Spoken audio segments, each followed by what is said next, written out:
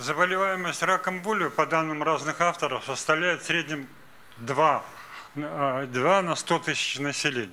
В Новгородской области этот показатель заболеваемости с определенными колебаниями за 15 лет увеличился почти в три раза. По, а, а, здесь вот представлено с 2000 года а, была заболеваемость 1,8, стало 4, более 4 на 100 тысяч населения. Актуальность проблемы. Несмотря на увеличение заболеваемости, высокий удельный вес больных с локорегионарным распространением процессов, в среднем 50-60%, констатировано снижение смертности с 3,4 э, или даже 5 э, на 100 тысяч населения до 0,58. Ситуация связана с тем, что запущенные формы рака вульвы – это женщины преклонного и старческого возраста, проживают в одиночестве, не относятся критически к своему здоровью. С другой стороны, это проблема медицинская, поскольку это конечный этап длительно существующего процесса папилломатозных разрастаний, вульварных дисплазий, склеротического лишая, начало которому более молодой возраст и преклимактерический период. До последнего времени к основным факторам развития рака вульвы относили нарушение системы нейроэндокринного гомеостаза. В современной системе патогенеза особое место отводят папиллома вирусной инфекции. Последний играет ведущую роль в генезе не только рака шейки матки, но и рака вульвы, что позволяет по-новому взглянуть на эту проблему. Все чаще рак вульвы диагностируют в репродуктивном возрасте, что определенным образом связано с увеличением частоты папилломовирусной инфицированности, заболеваемости вульварных интраэпителиальных неоплазий среди молодых женщин. А, под э, э, нашим наблюдением находилось 102 больных, 102 больных раком вульвы. Средний возраст составил 69,3%. Чем старше, тем заболеваемость выше. По данным литературы выделяют два основных, особенно ранних патогенетических варианта. Это HPV-позитивный кантиломатозный вариант, чаще у молодых, на этапе внутриэпителиального рака ВИН-1, 2, 3 соответствует легкой, средней и, соответственно, тяжелой степени вульварной дисплазии. HPV-негативный или кератозный вариант э, чаще э, у женщин пожилого и старческого возраста старше 55 лет. Однако клиническая практика более многообразна, что, по-видимому, зависит от первичности процесса, возраста и развития вторичных процессов. Это смешанный вариант, когда папилломатозный разраст имеет место папилломатозное разрастание опухоли на фоне склеротического шая и кератозные изменения. И автономный вариант, когда рак э, как бы без видимых фоновых изменений представляется. И отечно-инфильтративный или по-нашему осложненный вариант, э, нередко у тех э, женщин, когда присоединяются вторичные воспалительные процессы и извержления, что э, необходимо учитывать при выборе лечения. Возможность излечить предраковые процессы и предотвратить развитие опухоли является трудной, но реальной задачей современной онкогинекологии. Однако авторы решения этой проблемы связывают э, с разработкой э, многие с криодеструкцией, фотодинамической диагностикой и фотодинамической терапией. Другие, наоборот, считают, что органосохраняющее лечение больных нейродистрофическим процессом вульвар, вульварной интраэпителиальной неоплазии и ранними формами рака ведут к рецидиву заболеваний, а потому нуждаются в радикальном хирургическом лечении. На настоящее время не решены методические аспекты выявления и лечения вульварных дисплазий ранних форм рака вульвы. В ряде э, работ – по раку вульвы указана важность увеличительной диагностики и морфологических методов. Однако информативность мазков низкая и составляет по сводным данным 57%. Нередко в мазках обнаруживают лишь роговые чешуйки, элементы воспаления, вводя врача в заблуждение, что целиком а, полностью, по нашему мнению, зависит от качества забора материала на цитологическое исследование. Учитывая многофокусный рост и необходимость множественной биопсии из нескольких зон, на амбулаторном этапе нами использованы разные виды биопсии.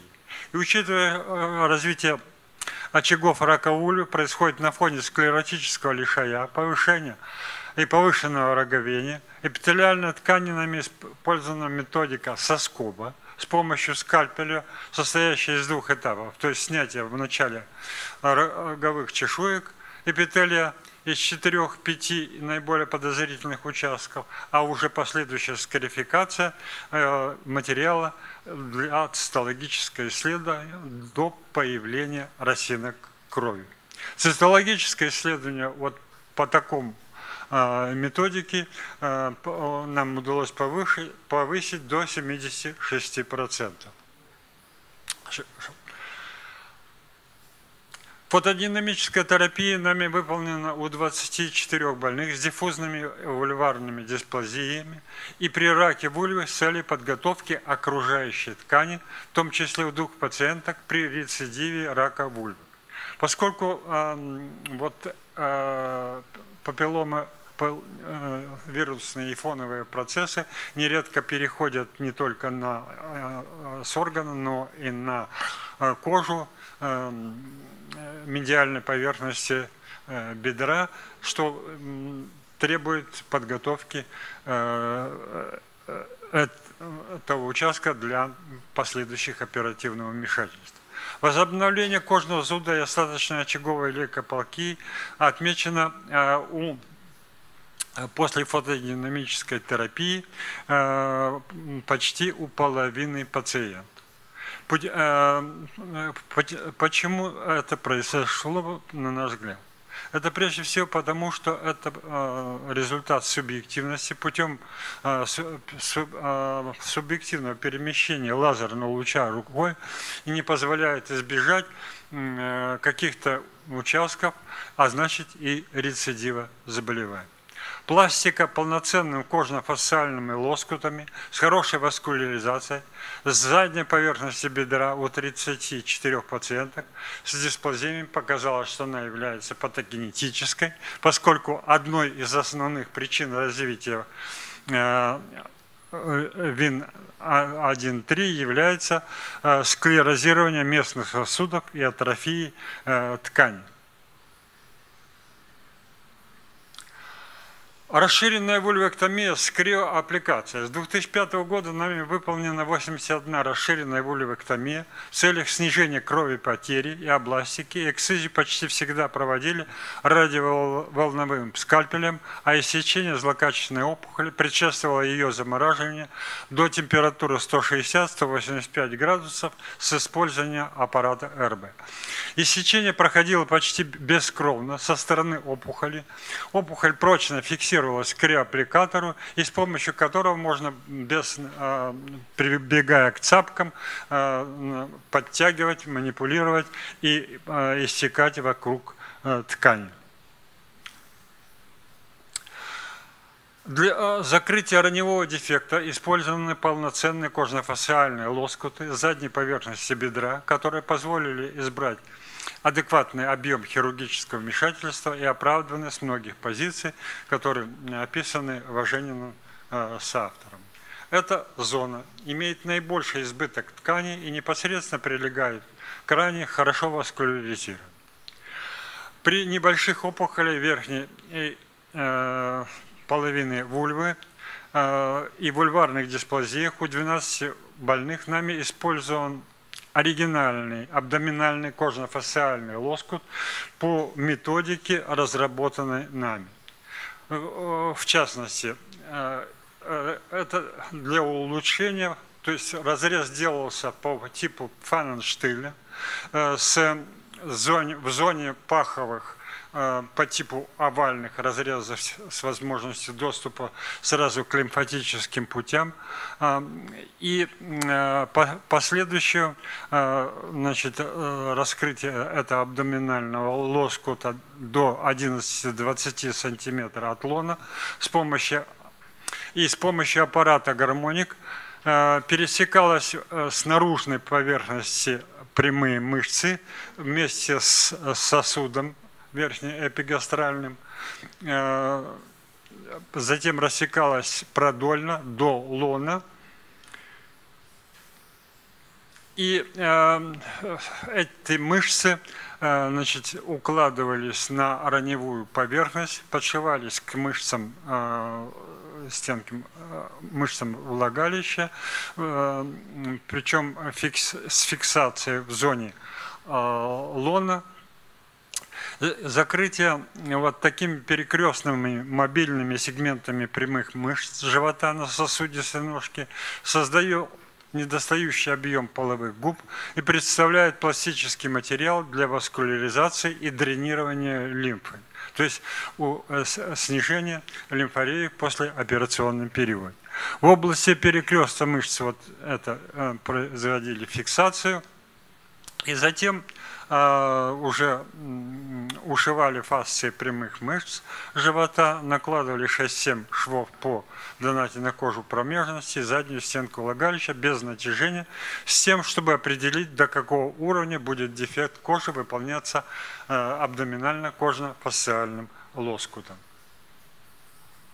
Абдоминальный кожно-фасциальный лоскут укладывали на раневую поверхность, адаптируя его путем отсечения избыточных и острых участков кожи, определив проекцию абдоминального лоскута, прилегающего к лапку, накладывали два фиксирующих узловых шва на надкосницу, которые затем их подшивали к лоскуту без эпителия, формируя генитальную складку.